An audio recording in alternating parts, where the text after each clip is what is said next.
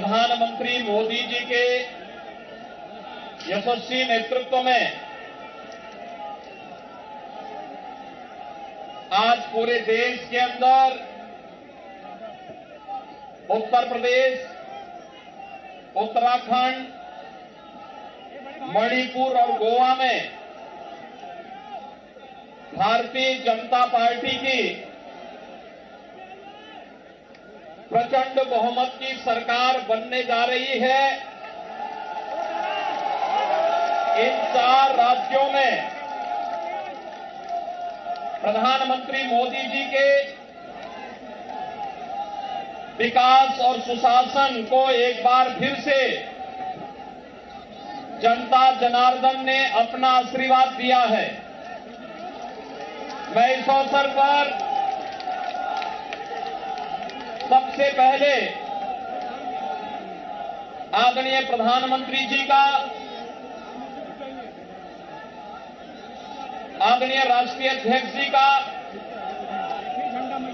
माननीय गृह मंत्री जी, माननीय रक्षा मंत्री जी और अपने उन सभी नेताओं का हृदय से अभिनंदन करता हूँ जिनके नेतृत्व में भारतीय जनता पार्टी प्रचंड बहुमत के साथ चार राज्यों में पुनः अपनी सरकार वापस लाने में सफल रही है। उत्तर प्रदेश देश की आबादी का सबसे बड़ा राज्य है। इस कारण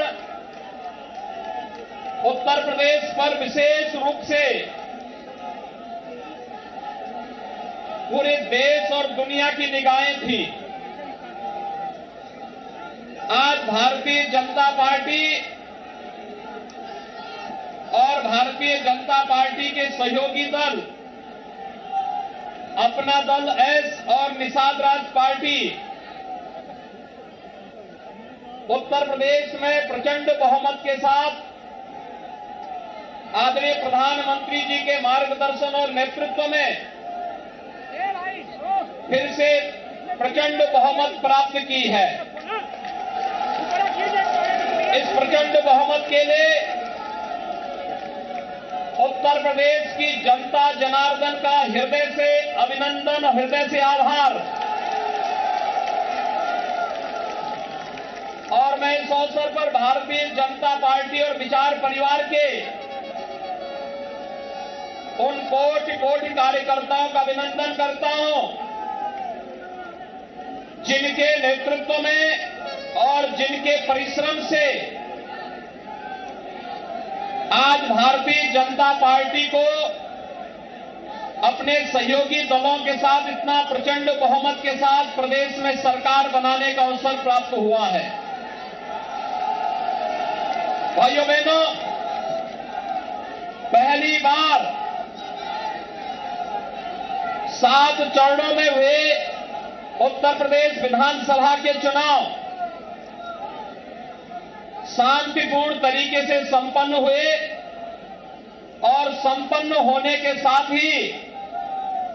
आज मतगणना के बारे में जो तमाम प्रकार के भ्रामक प्रचार पिछले दो तीन दिनों से चलाए जा रहे थे उत्तर प्रदेश की जनता जनार्दन की ताकत ने उस भ्रामक प्रचार को दरकनार करते हुए आज भारतीय जनता पार्टी और सहयोगी दलों को प्रचंड बहुमत से विजयी बनाया है। आप सबको मैं इस अवसर पर बधाई देता हूँ। भारत निर्वाचन आयोग को शांतिपूर्ण तरीके से इस चुनाव को संपन्न कराने के लिए हृदय से धन्यवाद देता हूँ। चुनाव की प्रक्रिया से जुड़े हुए प्रशासन और पुलिस विभाग और अन्य सभी संबंधित विभाग के सभी कार्मिकों को भी हृदय से धन्यवाद देता हूँ कि जिन्होंने कोरोना जैसी महामारी के बावजूद शांतिपूर्ण तरीके से लोकतंत्र के इस पर्व को संपन्न करने में अपना योगदान दिया है। उन सबका भी मैं हृदय से धन्यवाद देता हूँ। भाइयों बहनों, हम आभारी हैं आदरणीय प्रधानमंत्री जी के, जिन्होंने उत्तर प्रदेश को पूरा समय दिया और उत्तर प्रदेश के विकास के साथ साथ उत्तर प्रदेश जैसे राज्य में सुशासन की स्थापना के लिए किए जाने वाले हरेक प्रयास में आदरणीय प्रधानमंत्री जी का मार्गदर्शन और सहयोग सदैव प्राप्त होता रहा है। आज आदरणीय प्रधानमंत्री जी माननीय राष्ट्रीय अध्यक्ष जी माननीय गृह मंत्री जी माननीय रक्षा मंत्री जी केंद्रीय मंत्रियों और भा, केंद्र भारत सरकार से जुड़े हुए सभी मंत्रियों के साथ ही सभी पदाधिकारियों के सहयोग से वे प्रचंड बहुमत भारतीय जनता पार्टी को देश के सबसे बड़े राज्य में प्राप्त हुआ है। एक प्रचंड बहुमत भारतीय जनता पार्टी के राष्ट्रवाद, विकास और सुशासन के मॉडल को उत्तर प्रदेश की 25 करोड़ जनता का आशीर्वाद है और इस आशीर्वाद को हम सबको स्वीकार करते हुए आम जनमानस की आकांक्षाओं के अनुरूप सबका साथ, सबका विकास, सबका विश्वास और सबके प्रयास के इस मंत्र को अंगीकार करते हुए निरंतर आगे बढ़ाना होगा। आपने देखा होगा, भारतीय जनता पार्टी की डबल इंजन की सरकार ने पाँच वर्षों से लगातार उत्तर प्रदेश के अंदर सुरक्षा का जो माहौल दिया, उत्तर प्रदेश की आस्था को सम्मान देने का जो कार्य किया, उत्तर प्रदेश के अंदर आदरणीय प्रधानमंत्री जी के मार्गदर्शन में विकास के कार्यक्रमों को जिस मजबूती के साथ आगे बढ़ाने का कार्य किया और साथ ही साथ गरीब कल्याणकारी योजनाओं को प्रभावी ढंग से आगे बढ़ाने के लिए जो प्रयास प्रारंभ हुए हैं, आज उसका परिणाम जनता जनार्दन ने जातिवाद, परिवारवाद, वंशवाद की राजनीति को पूरी तरह तिलांजलि देते हुए 2022 में भी भारतीय जनता पार्टी को प्रचंड बहुमत के साथ ये विजय श्री उपलब्ध कराई है।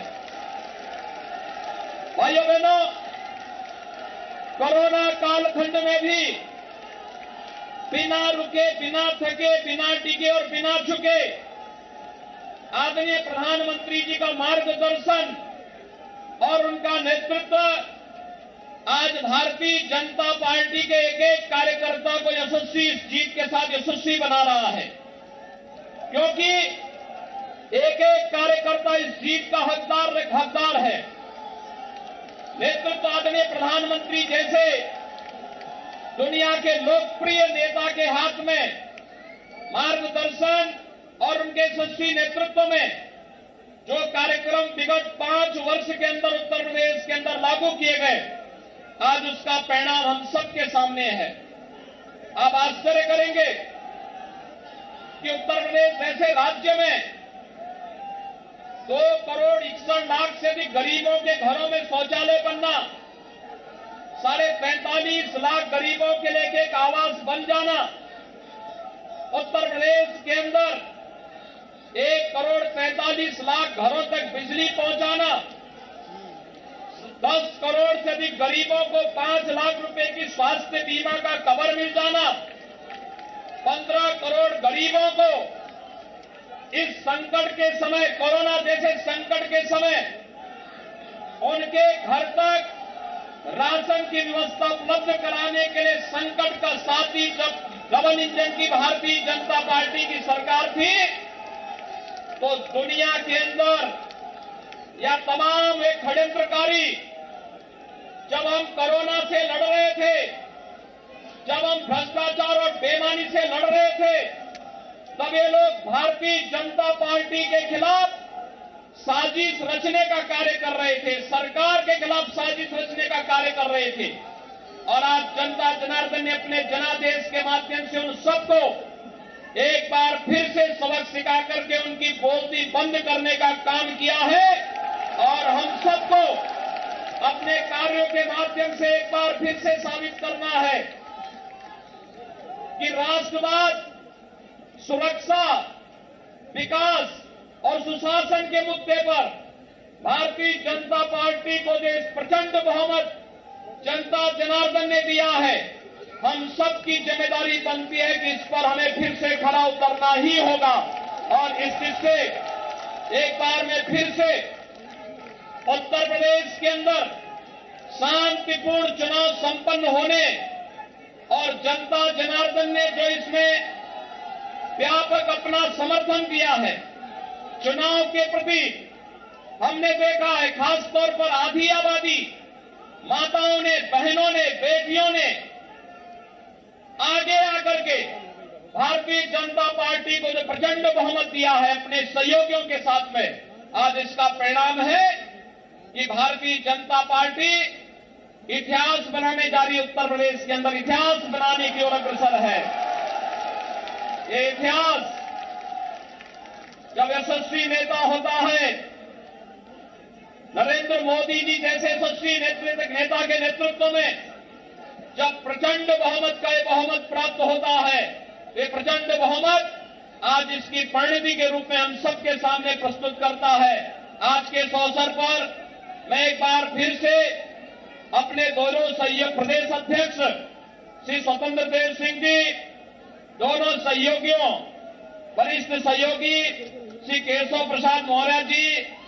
डॉक्टर दिनेश शर्मा जी,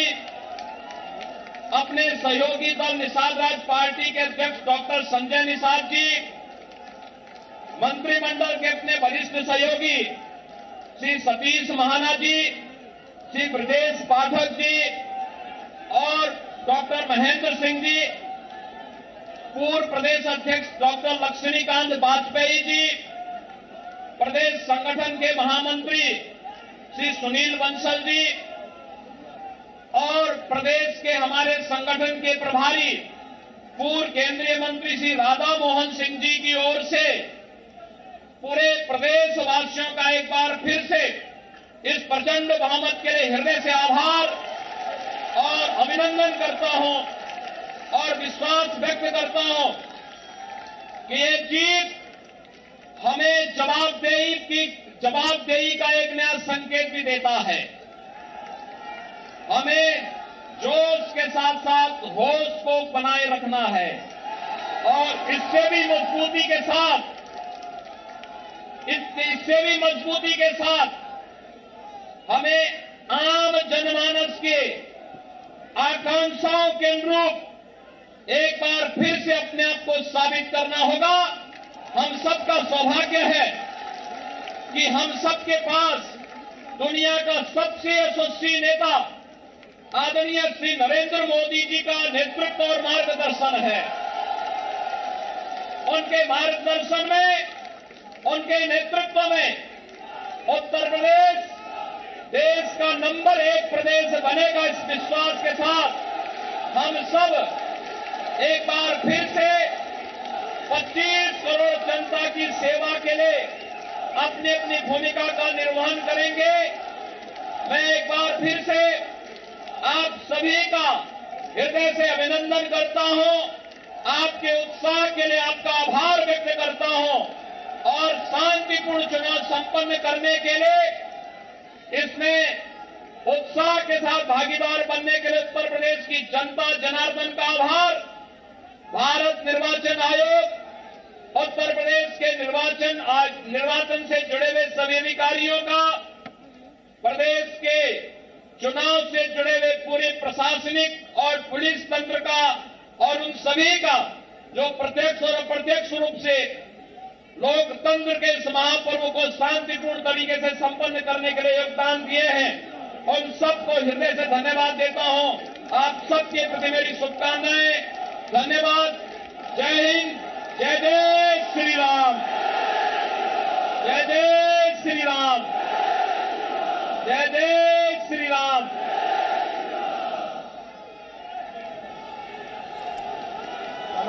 उत्तर प्रदेश के मुख्यमंत्री